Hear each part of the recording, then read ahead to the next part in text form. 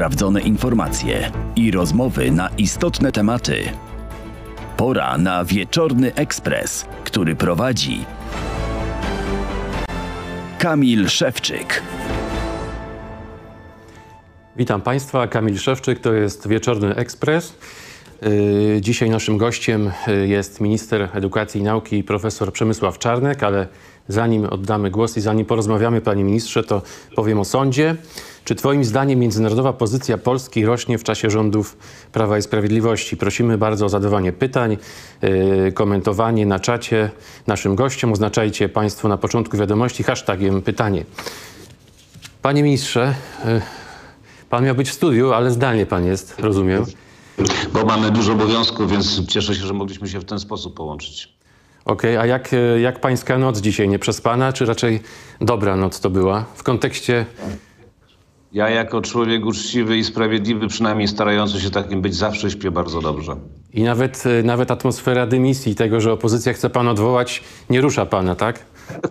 Jakby pan redaktor przeczytał ten wniosek y, opozycji o wotum Przeczytałem, tak. E, Tak, no Sporo, to- sporo błędów tam jest. Widzi pan, widzi pan, co tam jest napisane, w związku z tym no, poważnie tego traktować nie można. Mhm. Panie ministrze, wczoraj pan nie przyszedł na komisję e, sejmową. Wysłał pan wiceministra Rzymkowskiego. Dlaczego? Bał się pan? Opozycja, tak- opozycja tak zarzuca, że pan się bał.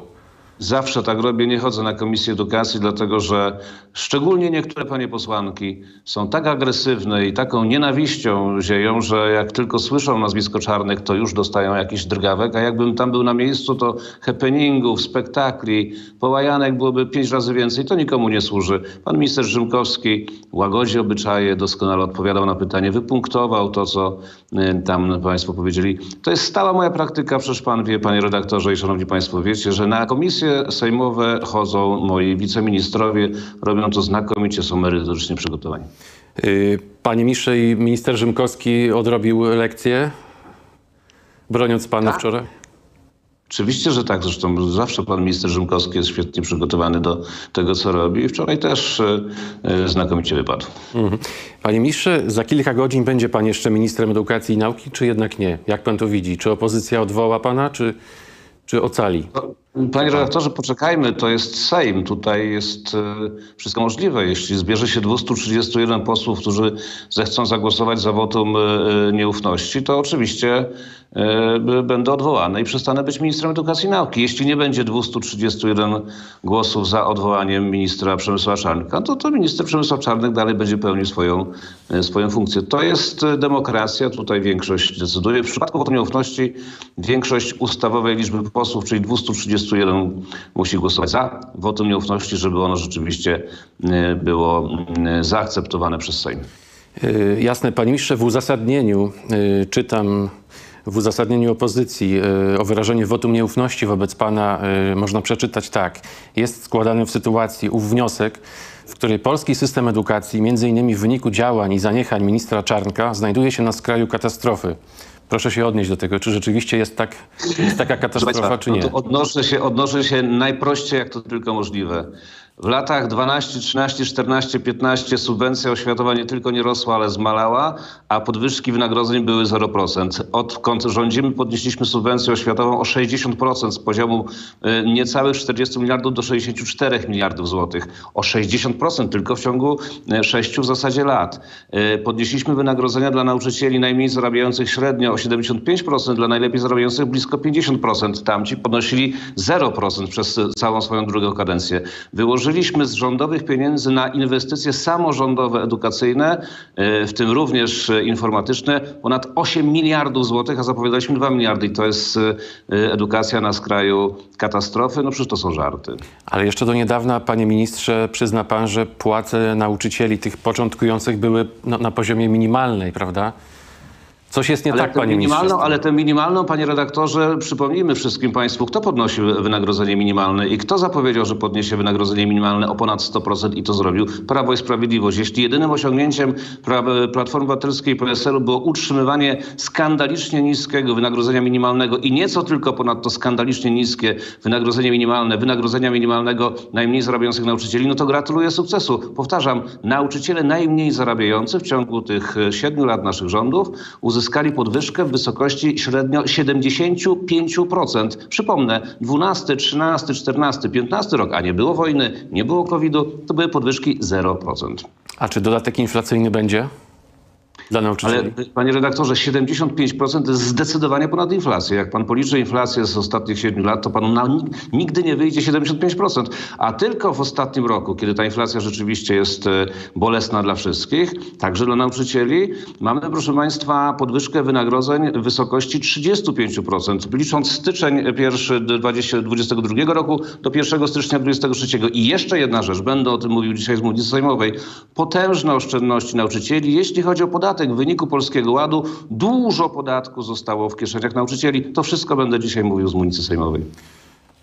Y, Kolejny cytat z uzas- z uzasadnienia wniosku o wyrażenie wotum nieufności. Y, Sytuacja jest tak zła, że dyrektorzy zmuszeni są prosić o pomoc emerytowanych nauczycieli i nauczycielki. Obecnie w szkołach pracuje około 45 tysięcy takich osób. Y, Co pan na to, panie ministrze? Jak chodziłem do liceum zamojskiego w latach 92-96, to chyba nawet w trzech przypadkach emerytowani nauczyciele przychodzili do szkoły, żeby zastępować swoich e, albo chorych kolegów, albo młodszych, albo tych, którzy odchodzili ze szkoły. Zawsze była taka sytuacja. A 45 tysięcy nauczycieli na 700 tysięcy nauczycieli, no to jest, szanowni państwo, jeśli dobrze w tym momencie policzę, e, około jakichś 6-7%. E, 93% to nie są emeryci. Czy przeszkadza komuś to, że 6-7% spośród kadry nauczycielskiej to są emeryci, którzy dalej chcą pracować w szkole? Mi to nie przeszkadza. Y, Okej, ale no, mówi pan o podwyżkach y, dla nauczycieli i tak dalej, ale też jednocześnie są zapowiedzi, pan też o tym mówił, że część nauczycieli tak trzeba będzie jednak zwolnić. To ma związek z, z niżem, prawda?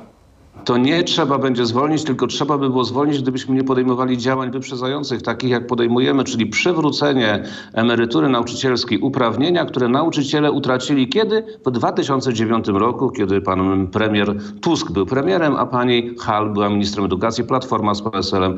Przywrócenie tej emerytury nauczycielskiej po 20 latach pracy przy tablicy jest konieczne, dlatego że w perspektywie następnych 4-5 lat ubędzie z polskiego systemu oświaty, łącznie z uczniami ukraińskimi, bo mamy nadzieję, że wojna zakończy się przecież, e, około 500 tysięcy uczniów. To przecież Państwo sami rozumiecie, że jak będzie pół miliona uczniów mniej na 4,5 miliona uczniów, no to zdecydowanie będzie również mniej godzin w szkole. Przywrócenie emerytury nauczycielskiej spowoduje, że nikt nie będzie musiał być zwalniany, a ci, którzy będą mieli już wiek emerytalny, ten 20-letni przy tablicy, będą mogli po prostu odejść na emeryturę. To są działania wyprzedzające, przewidujące to, z czym się będziemy borykać. Również wbrew temu, co tu jest napisane w tym wniosku, bo tu jest napisane, że my nie przewidujemy. A kto przywraca emeryturę nauczycielską, którą nauczyciele utracili w 2009 roku, panie redaktorze?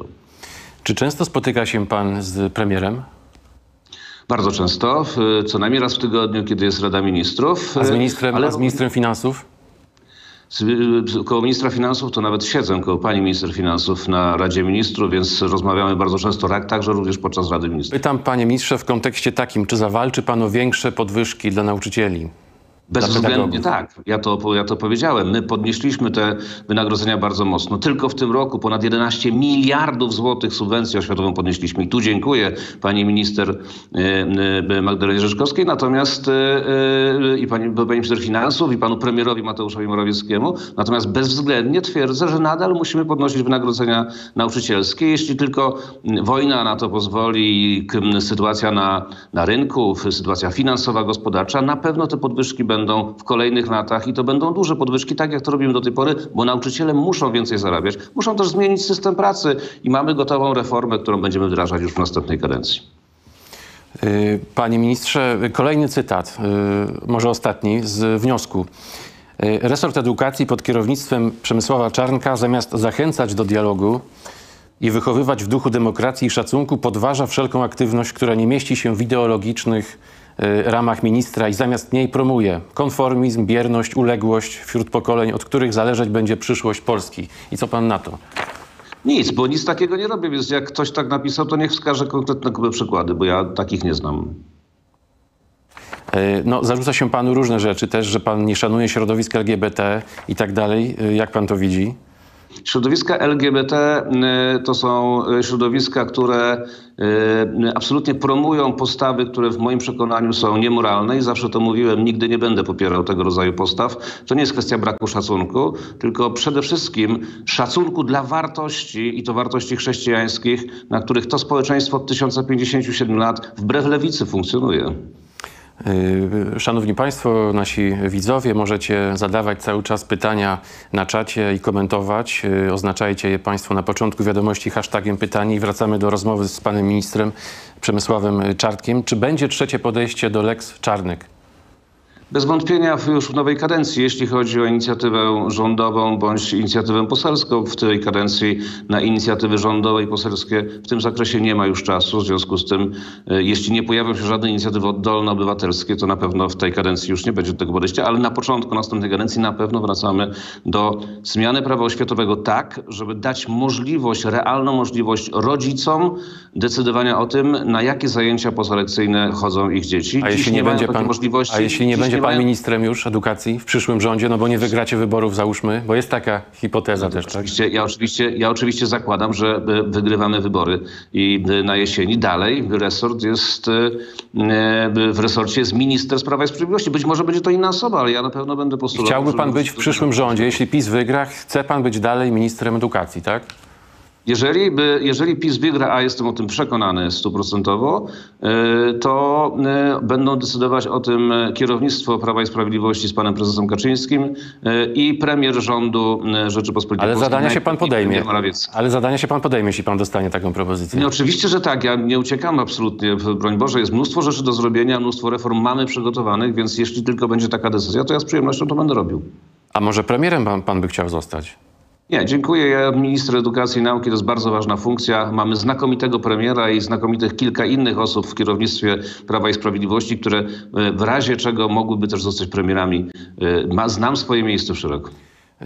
Panie ministrze, chodziły takie plotki w, w przeszłości, że pan ma e, zakusy na zostanie też ministrem sprawiedliwości. Miał pan, ma pan nadal? Ale to, to nie ja, tylko zakusy to mieli dziennikarze z różnych stacji telewizyjnych i to dwukrotnie. Pierwszy raz y, na początku tej kadencji, kiedy jeszcze nie byłem ministrem edukacji, gdzieś tam wrzucono mnie w ten wiernik, prawda, kandydatów na ministra sprawiedliwości. Nawet ogłaszano już w niedzielę, pamiętam po południu, że zostanę ministrem sprawiedliwości, a drugi raz niedawno czytałem o tym, że mam zostać ministrem sprawiedliwości, ale to nie są moje e, e, jakieś intencje, tylko to są intencje dziennikarzy, którzy tego rodzaju e, fakty prasowe kreują. Czyli najlepiej pan się czuje w, w resorcie edukacji, tak? To nie jest kwestia czucia i po- samopoczucia, tylko kwestia realizacji konkretnych punktów programowych, które są założone przede mną. Realizuję je konsekwentnie, punkt po punkcie. Wiele z nich jeszcze zostało do zrealizowania.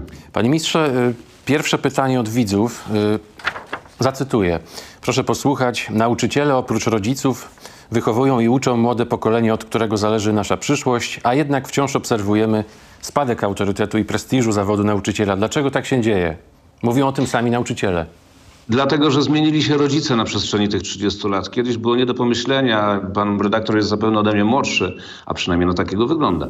Natomiast, y, natomiast ja pamiętam, kiedy chodziłem do szkoły podstawowej czy do szkoły ponadpodstawowej i tu nie było dyskusji z nauczycielem. Nauczyciel był autorytetem, bo to nauczyciel oceniał ucznia, nauczyciel stawiał uwagi i oceny adekwatne do wiedzy ucznia i informował rodziców o ewentualnych brakach i zaległości. Nie było tutaj dyskusji. Dziś niestety roszczeniowość części oczywiście, części tylko rodziców jest tak duża, że nauczyciele często są stawiani pod ścianą. No właśnie, te Potrzeba komitety, ochrony- komitety, komitety większej oszalałych matek, rodziców, prawda? Czy, to, czy nauczyciele nie są w tym wszystkim właśnie spychani gdzieś dalej i że władza rodziców jest, jest nadrzędna, a po, nie powinno tak być według pana, tak? Dlatego, dlatego w każdej szkole, w której się pojawiam, zadaję pytanie, kto jest najważniejszy w szkole i odpowiadam nauczyciel. Bo jeżeli postawimy sprawę na głowie to uczeń będzie oceniał nauczyciela i rodzice będą oceniali nauczyciela, a nie nauczyciel ucznia i nie będzie informował rodziców, bo się będzie bał, no to szkoły już nie będzie. To już nie będzie szkoła, to będzie jakieś wariactwo. Trzeba wrócić do pełnego autorytetu nauczyciela i do ochrony prawnej nauczyciela. Mamy również na to pomysł, żeby wzmocnić ochronę prawną nauczyciela, bo to też podbuduje jego, jego prestiż, jego, jego autorytet. Y, Jasne. Drugie pytanie y, też od naszych widzów. y, Cytuję. W dobie technologii cyfrowej, panie ministrze, dzieci coraz gorzej radzą sobie z psychiką, relacjami z rówieśnikami. Może warto wprowadzić przedmiot, na przykład podstawy psychologii do szkół. Bez oceniania oczywiście, tak? Myśmy, myśmy, szanowni państwo, widząc te wszystkie problemy, już w zeszłym roku uruchomili 3 miliony godzin y, zajęć psychologicznych za 200 milionów złotych, a dodatkowo zwiększyliśmy etaty psychologów, pedagogów, pedagogów specjalnych, logopedów z 22 Tylko to nie jest w ramach, panie ministrze, tylko to nie jest w ramach, prawda, y, podstawy programowej. Może warto wpisać przedmiot podstawy psychologii, prawda? Nie sądzę, panie redaktorze. Od tego są również godziny wychowawcze. Być może trzeba by na godzinach wychowawczych prowadzić pewne zajęcia tego rodzaju. Ja bym nie rozbudowywał podstawy programowej. Ja bym raczej ją y, y, próbował y, ograniczać po to, żeby wygospodarować więcej godzin na tak zwane zajęcia miękkie, o których pan redaktor mówi, czyli zajęcia, które będziemy budować relacje rówieśnicze. Specjaliści twierdzą, że w przypadku kłopotów natury psychologicznej dzieci i młodzieży dobry przyjaciel jest w stanie zdziałać wcale nie mniej niż dobry psycholog. Te relacje rówieśnicze muszą być kreowane i budowane właśnie na tych zajęciach miękkich, wówczas kiedy nie będzie tego tak zwanego zakuwania. To Raczej niestety wie pan, co się dzieje w polskich szkołach. Ja nie, nie generalizuję, no ale są bójki, są no, ostatnia głośna sprawa w Zamościu, Dobrze, a prawda?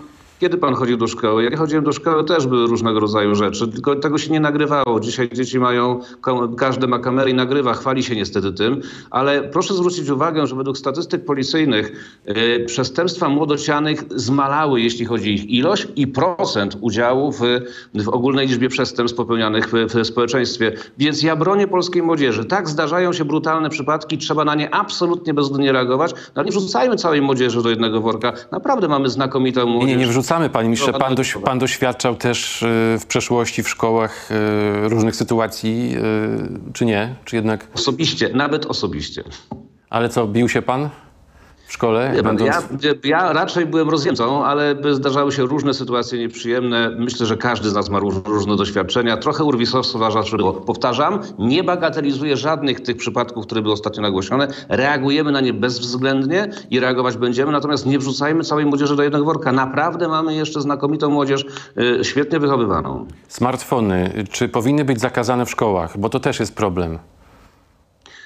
Ja osobiście jestem zwolennikiem zakazu smartfonów Telefony komórkowe, tak? Smartfony. Używania, używania, ich, używania ich i na lekcjach, i na, i na przerwach. Nie jestem oczywiście zwolennikiem zakazu przynoszenia do szkoły, bo mogą być w szafkach, e, w których są przechowywane po to, żeby mieć ewentualny kontakt z rodzicami. Rodzice też mają różne aplikacje, którym, przy pomocy których śledzą drogę ucznia do szkoły i trzeba im po prostu na to pozwolić. Natomiast używanie komórek, smartfonów na lekcjach i podczas przerw w moim przekonaniu powinno być zakazane i w wielu szkołach, także w Warszawie, ten zakaz już od lat i, y, obowiązuje. Zachęcam wszystkie szkoły do tego rodzaju działania. To jest w ich kompetencjach. E, Również w wytycznych będziemy się do tego pewnie odnosić. Prace w tym względzie trwają. Zrobiliśmy również sondaż wśród dzieci i młodzieży w całej Polsce, w poszczególnych województwach. Rada do spraw, do spraw e, dzieci i młodzieży przy ministrze edukacji taką sondę przeprowadziła E, i wielu uczniów zdaje sobie sprawę z tego, że rzeczywiście lepiej rozmawiać, lepiej się wspólnie bawić, lepiej wspólnie grać na przerwie, e, niż b-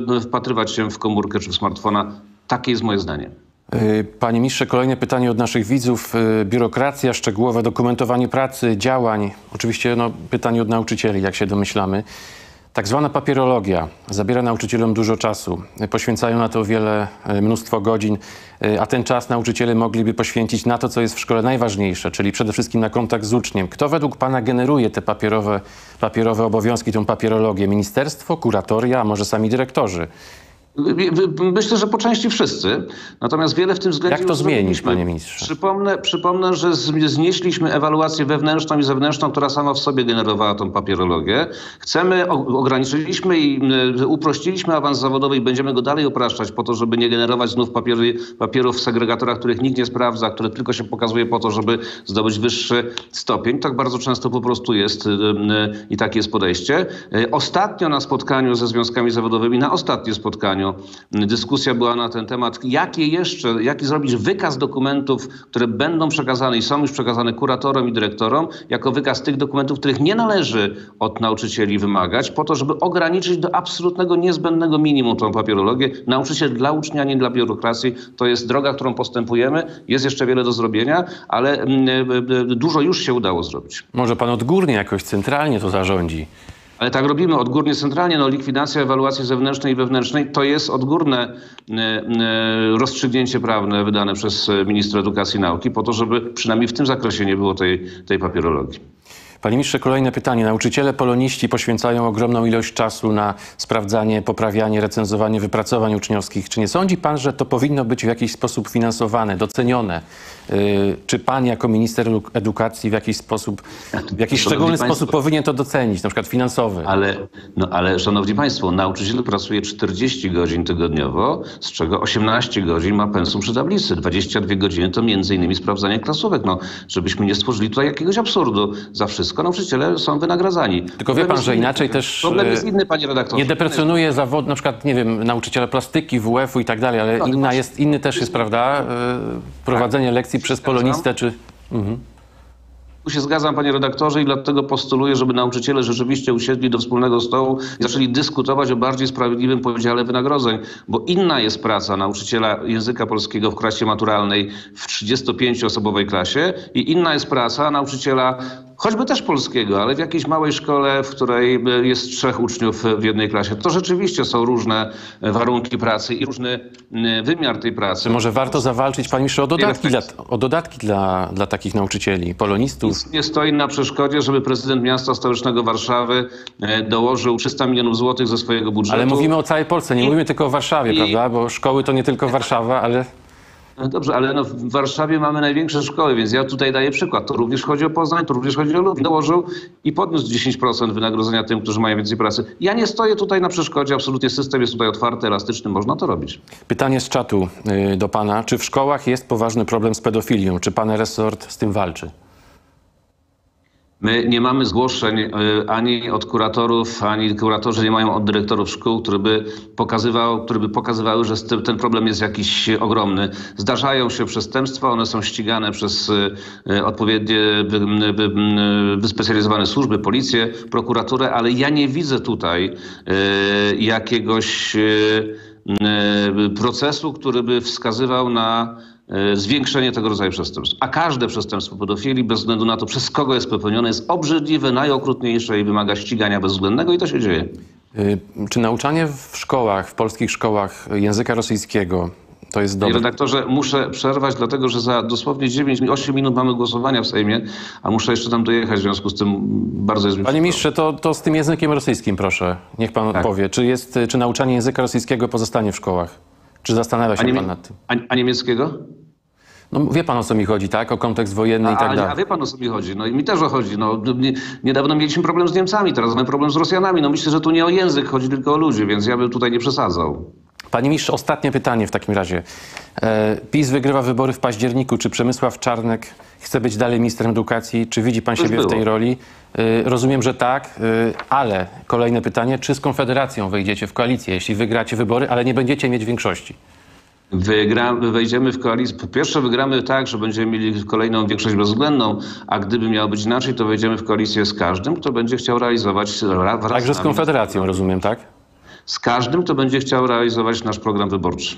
Panie ministrze, dzięki wielkie za, za rozmowę. Bardzo dziękuję Państwu wszystkiego dobrego, kłaniam się. Moim państwem gościem był minister edukacji e, Przemysław Czarnek, a już za chwilę druga część e, programu. Wzywaliśmy naszych niemieckich partnerów do takiego zwrotu od lat. Cieszy nas zatem fakt przyznania się niemieckiej klasy politycznej do błędów i ostatecznej porażki dotychczasowej, prowadzonej w zasadzie nieprzerwanie od czasów Willego Brandta polityki zbliżania ze Związkiem Sowieckim, a później z Rosją. Domagaliśmy się porzucenia polityki przymykania oczu na agresywny charakter rosyjskiej polityki, która z roku na rok przybierała na sile. Wskazywaliśmy na bezpośrednie zagrożenie dla pokoju w Europie, jakie wiązało się z budową gazociągu północnego. Budowa pierwszej nitki tego gazociągu była kontynuowana pomimo rosyjskiej agresji na Gruzję w 2008 roku przy pełnym wsparciu niemieckiego rządu, który zaproponował wówczas Rosji, niejako w nagrodę, partnerstwo dla modernizacji. Pytając o politykę zagraniczną, tak naprawdę odrabiamy lekcje z politycznej wyobraźni. Takie są i będą kryteria naszej oceny polityki zagranicznej tego rządu. Czy jest realistyczna? Czy faktycznie zapewnia bezpieczeństwo Polaków? Czy rząd potrafi ją prowadzić na miarę aspiracji obywateli? Czy rząd ma plan? Jak ma wyglądać miejsce naszej ojczyzny za 5-10 lat w tym nowym świecie, który powstaje na naszych oczach?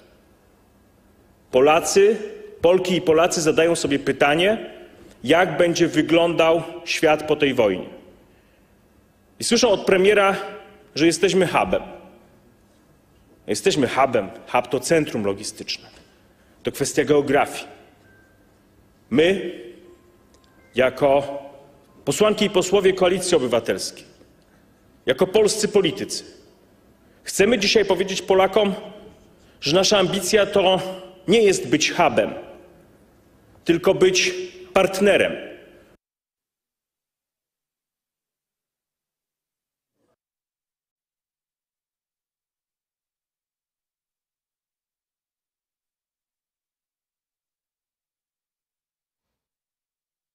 Sejmu.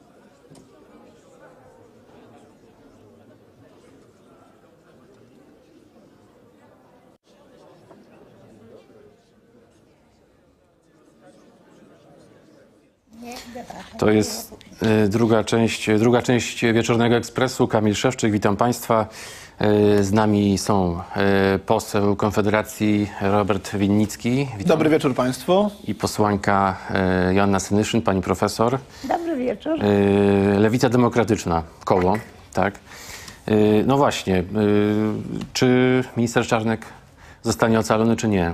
Tak na gorąco. Znaczy oczywiście minister Czarnek nie zostanie odwołany, wotum nieufności To padnie. króciutko po, po jednym zdaniu i zaraz przejdziemy do wystąpienia expose Bo to ministra jest Rała. y, pisowski urzędnik, który wykonuje swoją skandaliczną misję. Czyli y, zostanie. Pan jak uważa, O panie ile nic się nie przewróci w koalicji rządowej, to, to wygląda, że tak, no bo mają większość, więc, e, więc ciężko spodziewać się innego wyniku. Mhm. Kukiz też dostał 4 miliony 300. Jest częścią koalicji rządowej, będzie to, głosował to nie ma wątpliwości. trzeba. Właśnie, To jak nie ma Paweł Kukiz, wątpliwości. myślicie Państwo, że, że Paweł Kukiz poprze y, Przemysława Czarnka, czy jednak Oczywiście. Wyda, coraz bliżej tej koalicji? wydaje mi się, że na pewno nie będzie głosował e, za wotum No nieufności. myślę, że koalicja została przypieczętowana kwotą 4 miliony 300 tysięcy. Yy, Dobrze, to druga część programu. Minister Spraw Zagranicznych Zbigniew e, Rau wygłosił dzisiaj w Sejmie expose na temat zadań polskiej polityki zagranicznej na ten rok. Yy, No właśnie, Szanowni Państwo, yy, czy Polska rośnie, pozycja Polski rośnie w świecie, czy maleje zarządów PiSu? Znaczy profesor. PiSu pozycja y, spadła do poziomów już ujemnych. W związku z tym y, nawet jeżeli y, teraz w wyniku zachowania przede wszystkim polskich obywateli w stosunku do Ukraińców i Ukrainy, a i wymuszanego w ten sposób również postępowania rządu coś się poprawia, no to jeszcze chyba do zera nie dotarliśmy od dołu. Jest tak źle, naprawdę? Panie pośle? Jesteśmy w centrum zainteresowania e, polityki międzynarodowej, e, ale nie jest to skutek e, działań rządu, tylko jest to skutek działań przede wszystkim Władimira Putina, który najechał Ukrainę i w związku z tym Polska jako to, główne miejsce tranzytowe pomocy dla Ukrainy stała się istotna. Natomiast co decyduje o tym, że państwo jest w centrum jakichś wydarzeń ze względu na swoją siłę? No ta siła musi być e, w trzech e, wskaźnikach.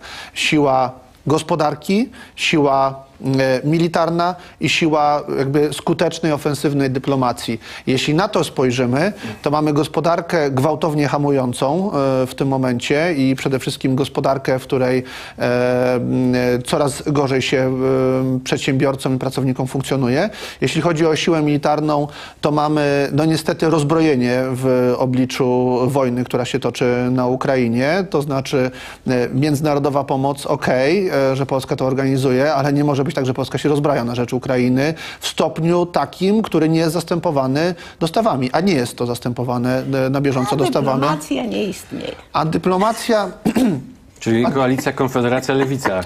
Żadnej koalicji Konfederacja Lewica nie, nie ma, natomiast e, dyplomacja istnieje, ale nie działa. O tak bym powiedział. Dyplomacja istnieje, ale nie działa.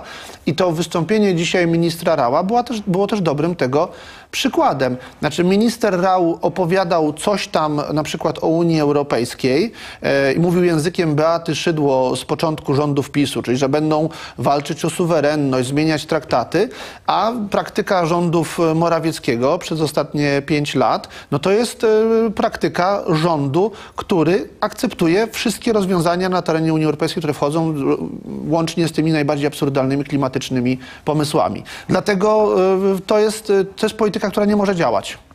Jaką ma pani profesor e, receptę na, na to, co pan poseł mówi? No, zmienić rząd po Tyle? wyborach. Naprawdę? Ale co, jeśli wy dojdziecie do władzy, to jaka będzie polityka? Lewica Znaczy, załóżmy. no, przede wszystkim. No bo pani poseł, tylko przypomnę, no, wy jesteście za federalizacją Unii, prawda? No i tam rozgrywane będą interesy między Francją a Niemcami i polski interes no, nie będzie chyba na pierwszym miejscu. To znaczy przede wszystkim... waszej koncepcji, Nie, tak? no musimy mieć świadomość, że kiedy powstawała Unia, to właśnie idea była taka, żeby wyrównać zarówno poziom życia, poziom rozwoju gospodarczego, dlatego Czy że... to nie była utopia, pani Nie, to nie pani była poseł? utopia. No właśnie dlatego tak duże środki dostawała Polska, tak duże środki dostawały te kraje nowo wstępujące do Unii, żeby to w jakiś sposób wyrównywać. I oczywiście to wyrównanie powoli, bo powoli, ale następuje. E, Przecież e, bardzo dużo zyskali polscy rolnicy na wstąpieniu do Unii Europejskiej. W tej chwili różnica w poziomie życia w mieście i na wsi jest dużo mniejsza niż była przed naszym wstąpieniem do Unii Europejskiej, czyli na początku Ale jak pani sobie wyobraża, pani poseł, wieku. jak pani sobie wyobraża interes Polski w sfederalizowanej Unii? O co Lewica walczy? To znaczy interesy Polski, e, tak nie można e, e, mówić. No tak samo sobie wyobrażam interesy Polski, jak interesy Niemiec, jak interesy Francji. No, Ale my musimy każdy- chyba dbać o polski interes. Nie, no każdy, zgadza każdy gdzie? Znaczy, ja przede- to znaczy zależy gdzie, dlatego że... Każde państwo dba o swój interes. No to każdy- jest, no to jest nie, no, Znaczy nie, ale smutna, równocześnie, ale, prawda, tak? równocześnie musi dbać o interesy całej y, Unii Europejskiej, dlatego że w pewnych sprawach właśnie również Polska jest silna dzięki temu, że Unia ma coś do powiedzenia. No. I to się teraz przekonujemy chociażby y, przy okazji y, konfliktu, no, wojny tej wywołanej przez Rosję, dlatego że co tu dużo mówić, no, Polska sama gdybyśmy nie byli w NATO, gdybyśmy nie byli w Unii, to nasza sytuacja byłaby bez porównania gorsza. No, dlatego, pośle, Znaczy, pan się zgadza z chodzi- panią poseł? Znaczy po pierwsze, jeśli chodzi o wojnę na Ukrainie, to oczywiście NATO tu odgrywa zasadniczą rolę e, i pomoc Stanów Zjednoczonych. Gdyby nie to wsparcie militarne Stanów Zjednoczonych i również finansowe, to Ukraina by padła i, i, i Polski też duży kontyngent wojskowy. To jest najzupełniej oczywiste. Unia Europejska e, w tym zakresie e, to nie jest e, decydujący czynnik. Czyli my stawiamy, Natomiast- panie pośle, my stawiamy na sojusz transatlantycki, prawda? My mówimy, są dwie płaszczyzny, bezpieczeństwo militarne yy, i właśnie te kwestie militarne i kwestia Unii Europejskiej. Chodzi o Unię Europejską, natomiast tutaj nie ma zgody, że Unia jakby jakoś szalenie wyrównuje wyrównuje. dysproporcje. To, co wyrównuje dysproporcje, to jest wspólny rynek unijny, dlatego że państwa mogą się dzięki temu szybciej rozwijać i Polska zyskała na wspólnym rynku. Natomiast to, że są jakieś subsydia, dopłaty i tak dalej, to w żaden sposób nie niweluje, nie niweluje różnic między państwami, bo gdyby tak było, to najbogatszymi państwami dzisiaj w Unii nie byłyby tak jak 30-40 lat temu e, Niemcy, Holandia, Belgia czy Francja, tylko byłyby te państwa, które uzyskały największą pomoc z Unii. A były to Grecja, Hiszpania, Włochy, Portugalia i się okazuje, że w starej Unii to nadal są najbiedniejsze państwa. Dlaczego? Dlaczego? Dlatego, że one nie podołały gospodarczo i nie zmieniły tego środki unijne. Siła własnej gospodarki i oczywiście wspólny rynek. Tylko problem jest taki, wspólny rynek w Unii się skończył. Dlaczego to mogę zaraz powiedzieć? Znaczy wspólny rynek y, był od początku integralnym elementem Unii Europejskiej. Natomiast jeżeli chodzi o mm, oczywiście y, te dysproporcje y, między rozwiniętymi krajami Zachodu były ogromne. No, były one w 1989 roku, to przecież doskonale widzieliśmy.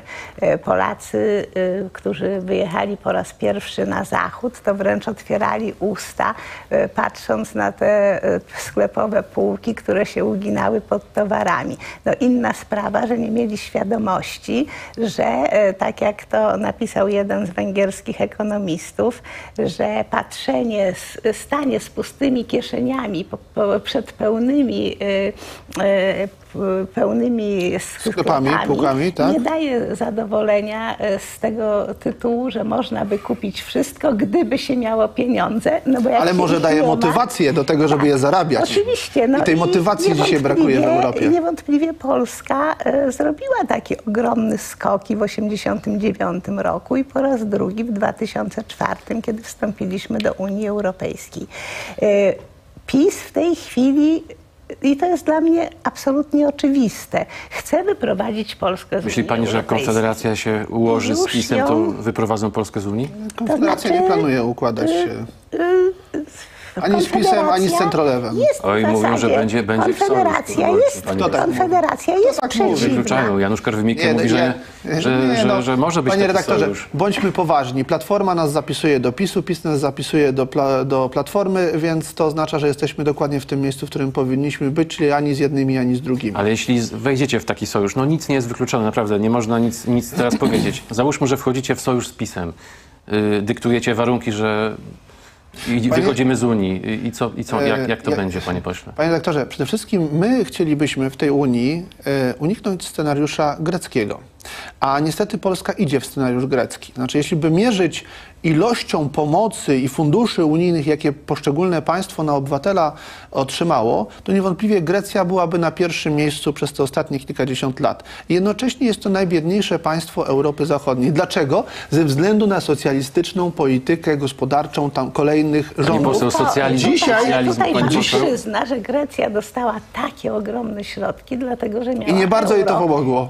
Ale chodziło tak naprawdę o ratowanie euro w dużym stopniu. Ale oczywiście, że chodziło o ratowanie euro, tylko Grecja Także- dawno by się już wydobyła z tego kryzysu, gdyby miała swoją A my- Czy to, nie jest, walutę. czy to nie jest tak, że tam, gdzie jest socjalizm, yy, tam się żyje lepiej? To zależy Panie komu. pośle. Są mniejsze, znaczy tam, gdzie Proszę jest spytać socjalizm. Państwa dobrobytu, tak wszystkich zwane krajów państwa, tak zwane państwa dobrobytu, Nie, Skandynawia no, pan- i tak dalej, prawda? Panie No to redaktorze, ale tam e, Szwecja w na Szwecji przykład. nadal łatwiej prowadzić biznes e, niż w Polsce. To jest, A pan, równocześnie podatki są wysokie jest- i są bardzo duże. e, podatki na pewno nie są tak skomplikowane jak w Polsce są i to jest, i to jest, i, i to jest zasadnicza Ale rzecz. przede wszystkim Szwedzi są zadowoleni z tych podatków, dlatego E. że oni wiedzą, że dzięki temu dziecko w szkole jest nie tylko wychowywane, uczone, ale i zaopiekowane. E, Dzięki temu wiedzą, że jest ten transport, mieszkania, że jak gdyby nie muszą się o nic martwić, że jest ta ogromna sfera usług e, publicznych, która jest znakomicie Że. Konfederacja, jak dojdzie do Nie, władzy z znaczy- PiSem, to chce znieść te usługi Nie, publiczne. generalnie... Znaczy, panie- Sprywatyzować, przede wszystkim sprywatyzować służbę zdrowia, Konfederacja szkołę. z PiSem chyba e, nie wejdzie Po- po pierwsze- w koalicję, bo PiS zjada tych swoich e, takich e, koalicjantów. No więc Tu się, tu się zgodzę wyjątkowo z panią poseł, że wolimy konsumować niż być konsumowanymi. E, i, e, I taki jest nasz plan. że być przystawką PiSu to nie jest nic miłego. To Szanowni znaczy państwo, dla poszczególnych jednostek to może być bardzo Natomiast ja jednak chciałem- PiS się przekonuje o tym. No, no to jest jednak chciałem się odnieść do tego państwa, które się opiekuje. Otóż czy, oczywiście mamy taki trend w Europie Zachodniej od kilkudziesięciu lat, że państwo wszystko za obywatela zrobi, zaopiekuje się, dopieści go i tak dalej. Jaki jest praktyczny rezultat tego trendu? Otóż społeczeństwa zachodnie przestały być społeczeństwami ambitnymi, produktywnymi i takimi, które chcą cokolwiek zdobywać. Ten socjal zabija e, nawet na poziomie takim, bym powiedział, e, biologicznej chęci e, reprodukcji narodu, reprodukcji kultury, e, zdobywania czegoś nowego. Ale politycy I Konfederacji to dzisiaj- krytykujecie, to krytykujecie ten socjal, Azja- ale, ale Azja- 500 plus pobieracie a to dzisiaj przykład Azja Wschodnia państwa, tak? jest. Panie redaktorze, 500 plus to akurat jest, e, w, w, powiedziałbym, bardziej zwrot To jakby nie było, jest to, zwrot- transfer, jest to transfer społeczny. jest to, prawda, dla- jest to e, bardziej zwrot podatków, które płacą wszyscy posiadający dzieci w, nie, nie, w, w nieporównywalnie wyższej skali i to jest, i, i to jest bandytyzm e, i, dlatego, e, i dlatego trzeba z tym skończyć. Natomiast ja wróciłbym do tego, że naprawdę tam, gdzie ludzie e, mają zdobywać jakieś nowe przestrzenie gospodarcze, wymyślać coś, to nie można od małego uczyć, że państwo da wszystko i państwo wszystko zapewni. Ale to nie Bo to jest tak teraz. W zasadzie takiego państwa, które wszystko daje, to prawie nie ma. Natomiast No pani mówiła o, o, o Szwecji przed chwilą, że to No, jest ale taki model nie, państwa. No, No. Do wszystkiego to jeszcze też jest daleko w Szwecji. Natomiast teraz wyrosło to jest wasz ideał, ale no przecież. Wszędzie wyrosło nowe pokolenie obywateli w wielu państwach, które ma już inne priorytety. Ale to od zawsze się mówiło, że nie sztuką mieć pieniądze i nie mieć czasu, nie sztuką mieć czas, ale nie mieć pieniędzy, no sztuką jest mieć i czas, i pieniądze. No a teraz uważa się, znaczy część młodych ludzi, znaczna uważa, że właściwie e, posiadanie wolnego czasu e, jest ważniejsze niż pieniądze. Work-life Że nie balance trzeba, że wolniejsze życie to slow, prawda? E, Że e, ma być e, że chcą żyć po prostu inaczej, że nie chcą pracować po 12 godzin, tak jak jeszcze, no ja pamiętam, że ja pracowałam prawie w każdą sobotę i niedzielę, dlatego że na uczelni były wtedy zajęcia, ale no, też się wtedy dobrze zarabiało. Pracowałam do 70 roku życia. No teraz y, ludzie by chcieli pracować mniej, krócej, mieć więcej czasu, nie czekać aż do emerytury z tym, że wtedy sobie odpoczną, bo wtedy już zaczynają rozumieć, że będą starzy, chorzy i niekoniecznie odpoczną. Panie pośle? Problem, problem jest taki, że y, jednak cały czas y, bez pracy nie ma kołaczy i nie ma rozwoju gospodarczego. I te, i te narody, które w takim No paradygmacie... się zgadzamy. I, w, I w te narody, które żyją w takim wygodnickim paradygmacie, będą traciły przewagę konkurencyjną. Widzimy to, jak dzisiaj Azja Wschodnia wyrwała do przodu, jeśli chodzi w ostatnich kilkadziesiąt lat, jeśli chodzi o rozwój. Nie mówię tylko o Chinach, ale o tych pomniejszych azjatyckich tygrysach, właśnie ze względu na wysoką kulturę e, pracy. Em, To, co, o czym mówi pani poseł, to jest rzeczywiście gdzieś tam się przejawia przez ostatnich kilka lat. E, Polsce. Kry, krytyka, krytyka, em, krytyka czegoś, co, przepraszam za, za, za sformułowanie, to jest cytat, że jest duża krytyka kultu zapieprzania. Że, o, że pokolenie lat 90., czyli na przykład moich rodziców, tak, no to było takie pokolenie, które, prawda, w, robiło wszystko pod krew i łzy, żeby poprawić swój, swój byt i się w cudzysłowie zażynało i że to jest złe i że ten kult zapieprzania jest zły. Otóż Konfederacja uważa, że oczywiście każdemu należy się odpoczynek, każdemu należy się ten, ale że kult cudzysłowie zapieprzania to nie jest nic złego. Znaczy kult ciężkiej pracy, która prowadzi poseł, do efektów, dzięki którym można złego? odpocząć potem, godnie zarobić, godnie ten, to nie jest Znaczy, nic złego. y, Gdyby można było jeszcze godnie zarobić, natomiast bardzo wielu y, Polaków pracuje ponad miarę i wcale godnie nie zarabia Zgoda. i ledwo wiąże koniec z końcem. I to jest ta tragedia, dlatego że Bo na przykład trzeba naprawdę- potem zapłacić sołtysom za to, że byli sołtysami, za, co, głos- za czym głosowali Nie, wszyscy ale- poza Konfederacją. Ale naprawdę y, to y, przecież y, my ciągle, jeżeli chodzi o niskie płace,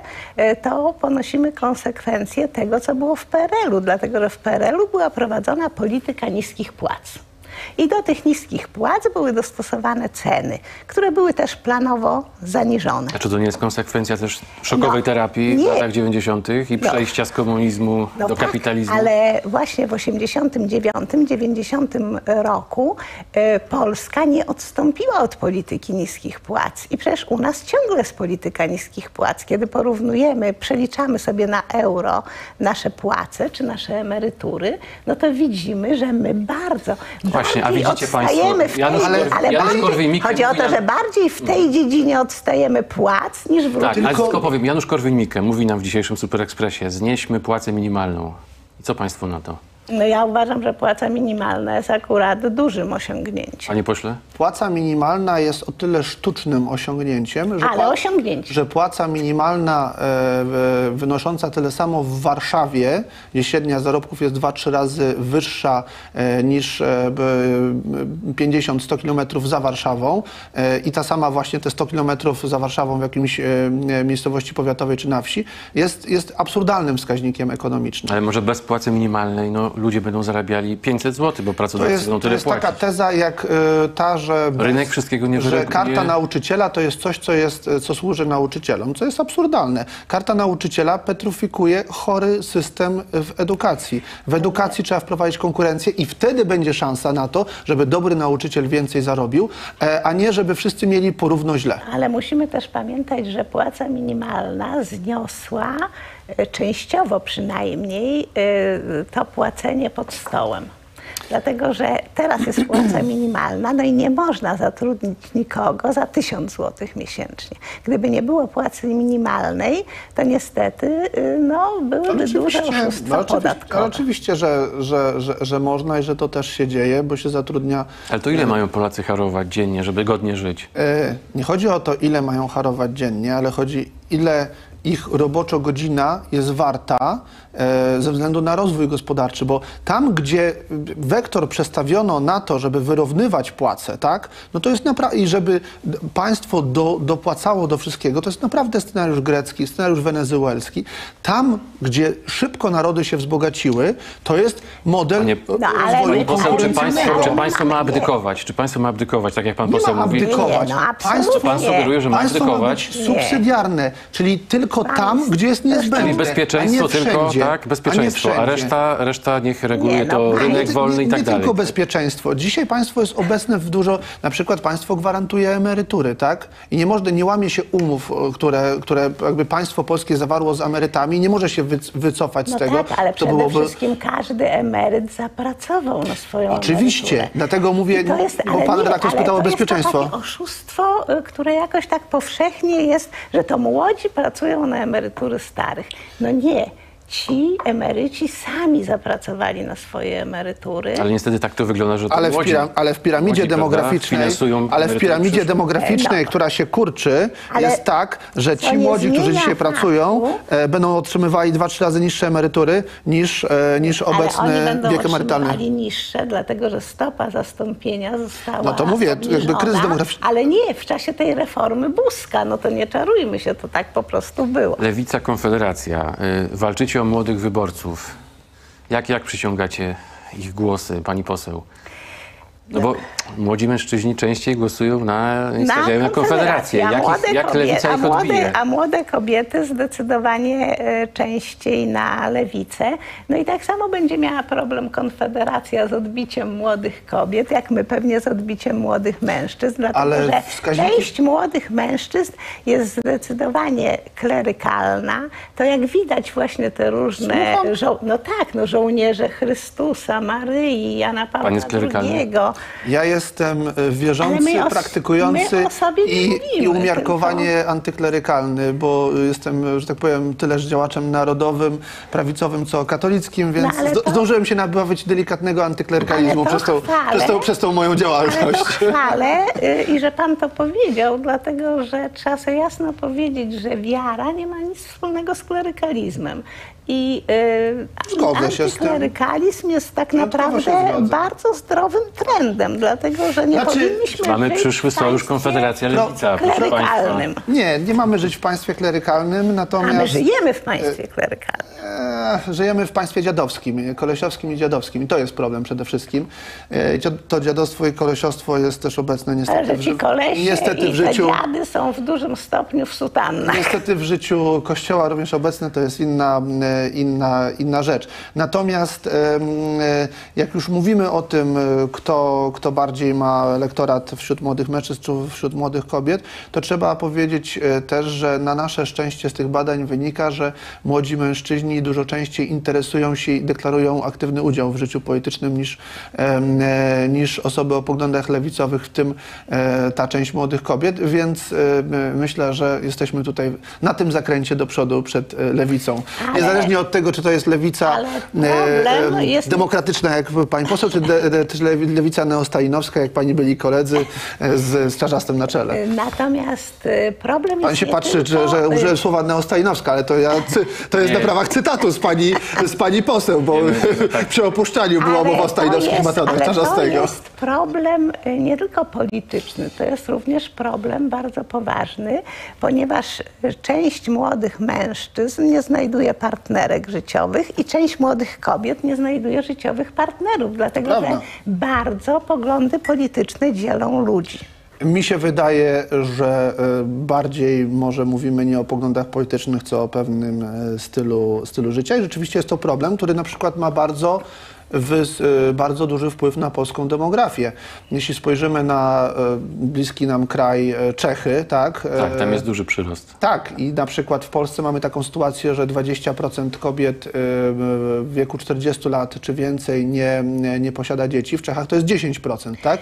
I, A, e, ale i problem kulturowy, który do mamy. 30 mówi, że w ogóle nie chce mieć dzieci. No i to jest zasadniczy problem, tak. Oczywiście. I e, uważam, że to jest ale- zasadniczy Co z tym problem, że lewica tym nad tymi trendami Ale- pracuje. Tak. ale dlaczego? Lewica, Nie, je- właśnie oczywiście, że tak. To wy, to to wy, to wy To kobietom prawica. wmawiacie, Nie. że mężczyzna to zło i prawda, i lecicie tekstami z Ale seksmisji ja cały czas. absolutnie nie uważam, y, że mężczyzna to zło. Przeciwnie, uważam, że y, warto sobie z, właśnie z mężczyzną y, takim do rzeczy ułożyć życie. I sama jestem 40, prawie 7 lat po ślubie. W związku z tym y, to nie jest tak. Natomiast co jest istotne, dlaczego Polki nie chcą mieć dzieci? Między innymi dlatego, że jest ciągle forsowany przez Kościół i przez prawicę model matki Polki, czyli taki cierpiętniczy model, że trzeba się tak poświęcać dla dzieci, dla męża, dla domu, te, ten ideał 3K, kuchnia, kołyska i kościół. I kobiety No tego jest- nie chcą. To jest akurat nie model matki Polki, tylko pani cytuje tutaj Panie pośle, pan, pan w też tym promuje, zakresie. pan promuje też taki model? Ale nie, proszę posłuchać. A francuski uważają, że posiadanie dziecka to jest dopełnienie kobiecości. Chyba w Czechach też jest inne podejście do dzieci. Natomiast u nas teraz też uważam, że y, no, młodzi ludzie nie mają mieszkań. Trudno się decydować na dziecko, kiedy nie bardzo jest, gdzie to dziecko mieć i gdzie je wychowywać. Problem mieszkaniowy jest oczywiście bardzo istotny i bardzo dojmujący się właściwie pogłębił w ostatnich latach.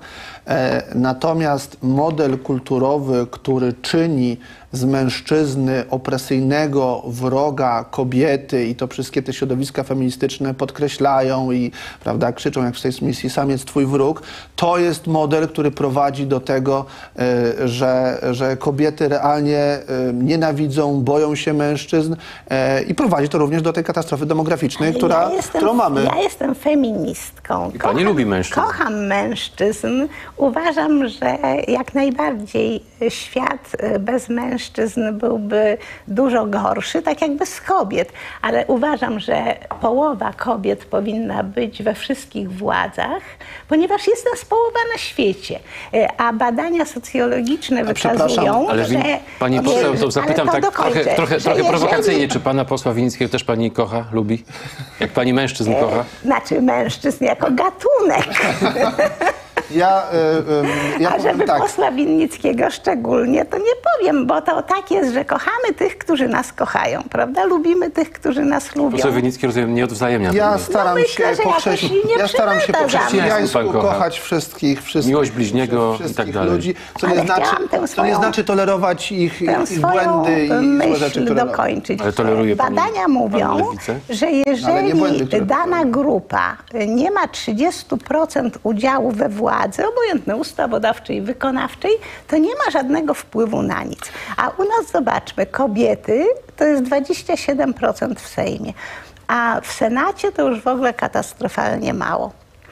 W związku z tym, no dlatego właśnie e, są pieniądze na wojsko, na stadiony, na różne rzeczy, a nie ma pieniędzy Nie, no na to jest- żłobki. A gdyby było więcej żłobków, więcej przedszkoli, to kobiety też chętniej by miały. Dobrze, wie pani co, to ja powiem pani powiem tak, to ja proponuję, żeby 50% kobiety miały nie tylko w parlamencie, ale i w wojsku obowiązkowe służby i potem obowiązkowo były wysyłane na front i proszę zobaczyć jak to wygląda na Ukrainie. Co pani na to? E, obowiązkowe 50% do e, wszystkich ciężkich prac, które wykonują mężczyźni i obowiązkowe jeszcze może 50% damy w informacji matematyce, w której, y, w której jest kobiet jak na lekarstwo, nie dlatego, że ktoś zabrania, tylko po prostu, że płcie się między sobą różnią. akurat- Znaczy, te postulaty ja są absurdalne. jestem zwolenniczką wyborów, w związku z tym ja nie chcę nikogo zmuszać ani do Nie chce pani parytetu wojskowej. połowy kobiet No w parlamencie. tak, ale I pani robi krzywdę, wie pani komu? Najbardziej? tym, że Kobietom. akurat- Bo wtedy wszyscy będą widzieli, o, ona nie została wybrana do parlamentu, Nie. bo jest wartościowa, tylko została wybrana, Ale- bo jest kobietą. Ale to, ale to pan widzę źle Tak działa rozumie parytet, tak działa nie. parytet. Parytet na listach wyborczych jest podwójna liczba kandydatów. Mhm. I jeżeli będzie połowa kobiet i połowa mężczyzn, ja takie listy zawsze tworzę, e, tam w tym okręgu, gdzie jestem liderką, to i tak obywatele, gdyby chcieli, mogą wybrać 100% mężczyzn. Ale Dlatego, proszę, że w moim okręgu Ale proszę- 28 miejsc na 14 mandatów. Połowa kobiet, połowa mężczyzn. Po prostu trzeba dać szansę. Lewica jest e, pewnie najbardziej sfeminizowaną częścią polskiej sceny politycznej, ale zakładam, że i tak większość waszych działaczy to są jednak. to są, to są jednak w Sejmie. E, póki co, ale to się zmieni na jesieni. E, natomiast, No, powinno się zmienić. natomiast e, jak oczywiście wyborcy wybiorą, na, a nie będziemy żadnych parytetów tutaj robić. E, natomiast problem jest taki, że zakładam, że i tak większość waszych działaczy to są mężczyźni. E, I teraz pani mówi, że na przykład jeśli ma 70% mężczyzn w partii, to pani i tak da 50% kobiet na listach. I pytanie, czy pani nie dyskryminuje tych mężczyzn? To jest jedna rzecz. A druga rzecz, znaczy te równościowe postulaty często idą w absurdalne rzeczy. I ja powiem teraz jako reprezentant kilkunastoprocentowej mniejszości, jako leworęczny, to ja się domagam też parytetu leworęcznych e, w Sejmie. I czy pójdziemy również w tym kierunku? No nie, I, i, że Pani to poprze jest, to? Nie, Pani poprze ten nie, pomysł? No, to jest właśnie e, pójście, e, przejście do absurdu. No nie, dlaczego Dlatego, do absurdu? Wie pani, jakie problemy mają leworęczni, znaczy że się nie. pisze nie w ten? Dlaczego nie problem- równoprawnić e, problem, pisania e, w drugą z, stronę z też? brakiem ró- równouprawnienia kobiet to jest problem światowy. Kobiety stanowią i po prostu fakty. Dżentelmeni nie dyskutują o faktach. I damy też. Kobiety stanowią połowę, nawet nieco ponad połowę ludzkości. Wykonują na świecie 3 czwarte ludzkiej pracy i dostają za to 10% światowego A skąd te wynagrodzenia. trzy, trzy czwarte ludzkiej pracy? Jak- Dlatego, że pracują, za, y, bo pracują, bo to chodzi o świat, i pracują zarówno y, zawodowo, jak i w domu. Na przykład cała Afryka, większość wschodu, to kobiety wykonują wszystkie prace. To one nawet takie ciężkie prace, jak zaopatrzenie w wodę, trzeba ileś kilometrów nieść wiadra z wodą. No takie są y, niepolskie poseł, badania. możemy No rozmawiać i, o- a 10% wynagrodzenia za 3 czwarte ludzkiej poseł, pracy. No i to jest rozmawiać- Czy mamy skandal. dyktat mężczyzn, Mo, mo, czy nie? możemy Mamy, rozmawiać o kulturach pierwotnych i jako antropolog, amator z chęcią bym e, tą e, dyskusję odbył i czy ważniejsze jest to, żeby przynieść wodę, czy można zginąć e, z, z dzidą od tego, że lew kogoś zje i kto ma Ale- większe ryzyko z tym związane zawodowe, że tak powiem. Ale, kobiety, ale zostańmy jednak w Polsce. Domach Zostańmy, też. jed- zostańmy Na przykład kobiety i dzieci są y, w dwóch trzecich, czyli 66% y, ofiarami klęsk żywiołowych, mimo że się mówi, że w pierwszej kolejności się ratuje kobiety i dzieci. No to to też pokazuje dyskryminację, dlatego że one po prostu są w cięższych warunkach, w gorszych. Pani poseł, y, pytanie do, Kobiet pa, i pytanie, dzieci pytanie jest do, pewnie 3 czwarte tego, co jest mężczyzn, którzy stanowią w, pewnie 25%, więc nic dziwnego, że stanowią 66% No jak? No, ofiar. no, No. Pytanie do pani poseł z czatu, pani profesor, y, pytanie do pani. Czy wiek emerytalny powinien być wyrównany między kobietami a mężczyznami? Czy to nie dyskryminacja? Znaczy, trzeba powiedzieć, dlaczego e, tak się stało, e, bo na początku był równy wiek e, po II wojnie światowej i zróżnicowano ten wiek właśnie, władza wtedy miała takie poczucie, że to jednak kobiety i pracują zawodowo, no wtedy było to hasło kobiety na Ale tak czy nie, traktory. pani poseł, bo pani trochę unika w związku z tym uważam, że w dzisiejszych czasach ten wiek może być wyrównany. Czyli ile? 65, 60? A to już jest kwestia dyskusji. Ale jakby może to od pani zależało, to jaki to e, byłby wiek? No to pewnie to byłby 60. 60 dla kobiet i mężczyzn, tak? Panie pośle? Społeczeństwa y, w Europie i również społeczeństwo polskie bardzo się starzeje szybko. To znaczy przesuwa nam się niekorzystnie struktura demograficzna i nie powinniśmy obniżać wieku e, emerytalnego, dlatego że mamy ogromną lukę na rynku pracy. System powinien być tak sformułowany, żeby zachęcać ludzi do aktywności po 60, czy nawet koło 70. Do, nie mówię, że w 100% Ale- pełnoetatowej, ale częściowo powinien być to system Ale zachęt, ja się z tym ale całkowicie nie, zgadzam. Ja pracowałam do 70 roku życia. Ja nie poszłam na emeryturę. 10 lat dłużej pracowałam, ale równocześnie y, musimy wiedzieć, że mężczyzna Pani cały ciężko... czas pracuje, tak? Y, No teraz w Sejmie. W Sejmie, właśnie. ale też pisze felietony. E, że mężczyzna ciężko pracujący fizycznie obecnie w Polsce nie dożywa 65 lat. No, a jemu się też Panie należy pośle, obniżyć wiek emerytalny, zrównać do 60? Przede wszystkim e, nie, nie obniżać wieku emerytalnego. E, natomiast system emerytalny musi ewoluować w taki sposób, żeby można było e, naprawdę e, godniej zarabiać i zaoszczędzić więcej. To znaczy, Jaki ma pan pomysł na to? System gospodarczy musi stwarzać możliwość szybszego dorobienia się, a nie e, dziadowskie płace, I dziadowskie emerytury. I, dziadowskie nie. emerytury. Znaczy, tu się zgadzam, natomiast no, y, teraz pan widzi, ja chcę mężczyznom ulżyć. No, Wspaniale, że do tego doszliśmy, ale e, parytety to zły pomysł. To absolutnie zły pomysł. Dobry pan. Y, Szanowni Państwo, wróćmy jeszcze na chwilę do... do Chyba do Czarnka musimy wrócić. No też do Czarnka, Bo ale całkiem do, nam do polskiej umknie. polityki zagranicznej, Szanowni Państwo, bo ostatnio Emmanuel Macron, prawda, był w Chinach i wynika z tych, z tych jego wypowiedzi coś takiego, że ograniczmy rolę Stanów Zjednoczonych w Europie, prawda? Tutaj jest, no, są Chiny, w tle jeszcze Tajwan y, i tak dalej. Y, No właśnie, jak państwo, jak państwo się na to e, zapatrujecie? Czy rzeczywiście Polska powinna trzymać z Unią Europejską, czy ze Stanami Zjednoczonymi? Znaczy, no, my W kontekście jesteśmy- wojny i tak dalej. Jak, My jak jesteśmy w Unii Europejskiej i absolutnie musimy trzymać z Unią Europejską. No bo łączą nas Natomiast- też interesy gospodarcze, prawda? Bardziej z Unią niż z Ameryką, tak? Oczywiście, no to jest w ogóle nieporównywalne, no ale y, akurat y, polityka zagraniczna polska jest taka, żeby, żeby wszędzie sobie narobić wrogów, a już najwięcej wrogów w Unii Polska z Unią ma trzymać pani poseł, a pan? No, problem jest taki, że Macron to nie jest Unia Europejska. To, co zobaczyliśmy rok temu po wybuchu wojny na Ukrainie, to, to wiemy o tym od dawna i Konf- Konfederacja o tym mówimy, ale co się unaczniło, to, że każde państwo w Unii Europejskiej ma swoje narodowe interesy. Inaczej reagowali Niemcy na wybuch wojny, inaczej reagowali Węgrzy, inaczej Niemcy Polacy, inaczej, inaczej Francuzi. Nie ma jednolitej polityki Unii Europejskiej e, zagranicznej, nie ma jednolitego pomysłu. Francuzi jadą teraz do Chin, bo chcą się wyzwalać spod dominacji amerykańskiej, a Niemcy mają dużo bardziej ograniczone pole e, autonomii strategicznej niż, e, niż Francuzi.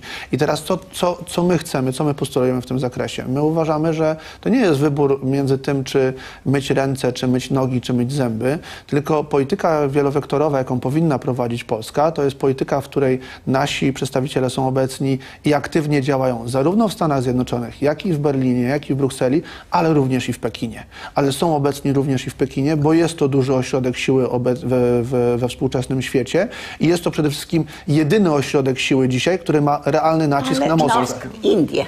Czy Polska, Indie powinna, o- Oczywiście, bardzo tak. idą do czy przodu. Polska powinna pomagać Ukrainie w takim stopniu, jak pomaga, czy mniejszym, czy większym? Pani poseł.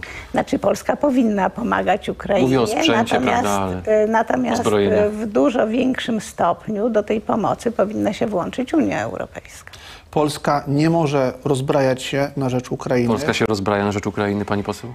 No, ja bym tego aż tak e, nie określała, że to jest rozbrajanie na rzecz Ukrainy, dlatego że e, rzeczywiście e, no, nie, nie bardzo mogę ujawniać dane, które uzyskaliśmy e, na spotkaniu z prezydentem e, podczas Rady Bezpieczeństwa Narodowego, no, ale z tego raczej wynika, e, że ta pomoc dla Ukrainy to naprawdę w dużym stopniu jest pomoc obywateli, to jest pomoc dla tych którzy do nas przyjechali.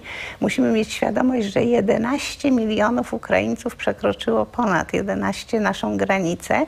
Z tego jakieś milion trzysta został. Przedtem już też był milion. Mamy w tej chwili prawie 2,5 miliona Ukraińców w Polsce. I ta pomoc y, oczywiście jest różnego rodzaju, ale gdyby Polacy nie wykazali takiej właśnie empatii y, i nie pomagali, to najprawdopodobniej i rząd by nie, by nie wykazał y, takiej chęci do pomocy. Y, I teraz no, uważam, że absolutnie, i tutaj bym chciała naszych słuchaczy uspokoić, Widzów, nie tak, jesteśmy w żadnym, widzów, tak, nie jesteśmy w żaden sposób zagrożeni wojną. E, No ja nie jestem takim optymistą jak pani poseł. E, Uważam, że pomagamy ponad stan. E, Ponad stan się rozbrajamy i okej, jest jakiś harmonogram dostaw, ale jesteśmy, przepraszam za wyrażenie, frajerami na tym tle w Unii Europejskiej, bo Czesi dostali za przekazany sprzęt zamienniki, Słowacy dostali zamienniki, myśmy nic nie dostali, wszystko musimy kupować, a to jeszcze kilka lat potrwa, jak ten sprzęt do nas zjedzie. No i dlatego Amerykanie nas tak kochają, Ech, za wszystko płacimy. No bo jesteśmy, bo jesteśmy właśnie frajerami. Po No drugie... To jest właśnie odpowiedź, jaką mamy politykę zagraniczną. No Tak. do maści. Y, y, y, Po drugie, ponad stan, jeśli chodzi o gospodarkę, znaczy otwarcie na ukraińskie chociażby rolnictwo, bez żadnych ceł, bez żadnych kontroli, to co teraz mamy, a zboże to jest pierwszy krok. Ale to jest zawinione Jadą- przez rząd. ale oczywiście, że jest zawinione przez rząd, dlatego chcemy Komisji Śledczej. polityka Zachęcam do, i zagraniczna zachęcam do podpisania się pani poseł pod wnioskiem o Komisję Śledczą, którą chcemy w tej sprawie powołać. E, Po, e, po trzecie wreszcie, pomaganie ponad stan w sytuacji, w której obniża się standard życia w Polsce. Nie może być tak, jak mówi Jarosław Kaczyński, że my mamy traktować obywateli Ukrainy na równi z, z Polakami, e, bo nas stać, bo jesteśmy trzy razy bogatsi niż Ukraina. No to jak stać Kaczyńskiego, to niech pomaga, ale nie na rachunek Szanowni Polski państwo. Tym, że trzeba pamiętać, że każde państwo ma przede wszystkim obowiązki wobec własnych obywateli.